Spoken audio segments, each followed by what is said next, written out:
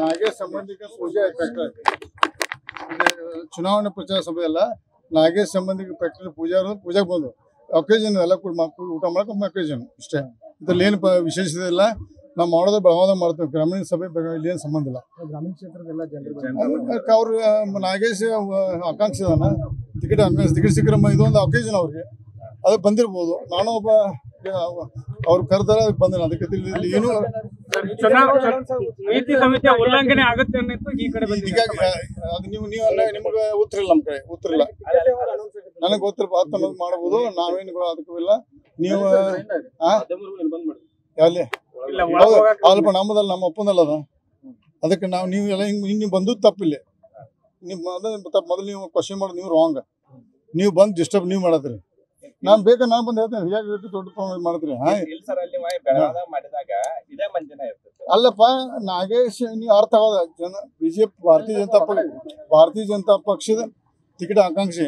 ಅವ್ರ ಸಂಬಂಧಿಕ ಪೆಟ್ಟು ಅದು ಅಕ್ಯೂಜನ್ ಅವ್ರು ಕೆಣಸ್ ಸುಳ್ಳು ಅಕ್ಯೂಜನ್ ಅದ ಯಾರೇ ಇದ್ರೆ ಮಾಡೋದು ಮಾಡ್ಬೋದು. ಅದೇನು ಅದೇನ್ ಅಪರಾಧ ಅಲ್ಲ. ಹಾ ಅಪರಾಧ. ಮತ್ತೆ ಅದಕ್ಕೆ ನೀವು ದಯವಿಟ್ಟು ಕೆಲವೊಬ್ಬ ಮಾಧ್ಯಮದವರು ಗ್ರಾಮೀಣ ಶಾಸಕರಿಗೆ ರೊಕ್ಕ ತಗೊಂಡಿದ್ದ ಮಾಧ್ಯಮದಲ್ಲಿ ಕೆಡಿಸೋದು ತಪ್ಪು.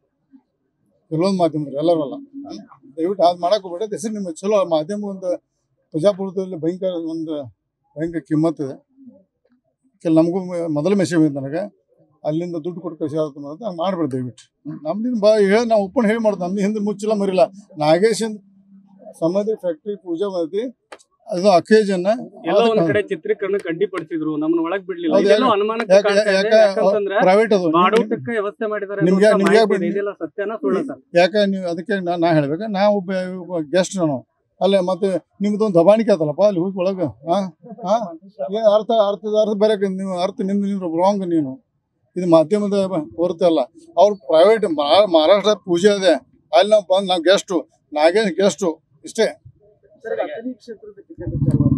ನೋಡಪ್ಪ ಕೆಲವು ವಿಷಯ ಬಹಿರಂಗಪಡಿಸಬಹುದಲ್ಲ ನಮಗೆ ನೂರಕ್ಕೆ ನೂರು ವಿಶ್ವಾಸ ಇದೆ ಮಹೇಶ್ ಕುಂಟೋತಿ ಟಿಕೆಟ್ ಸಿಗ್ತದೆ ನಮ್ಮ ನೋಡ್ರಿ ನಾವು ಏನು ಮಾತ್ರ ಕೆಲವು ವಿಷಯ ಬಹಿರಂಗಪಡಿಸಬಹುದಲ್ಲ ಮಹೇಶ್ ಕುಮಟೋ ಟಿಕೆಟ್ ನೂರಕ್ಕೆ ಶ್ರೀರಾಮ್ ಪಾಟೀಲು ಮತ್ತು ಮೂರು ಮಂದಿಗೆ ಇಡೀ ಹದಿನೇಳು ಜನ ಏನು ಬಂದದಲ್ಲ ನಾವು ಎಲ್ಲರೂ ಹೈಕಮಾಂಡ್ ನಮ್ಗೆ ಆಶೀರ್ವಾದ ಮಾಡ್ತಾ ಲಕ್ಷ್ಮಣ ಸವದಿ ಅವ್ರು ಏನು ಹೇಳ್ತಾ ಇದಾರೆ? ನನ್ನ ಎಂ ಎಲ್ ಸಿ ಅವಧಿಯನ್ನು ಅವ್ರಿಗೆ ಕೊಡ್ಲಿ?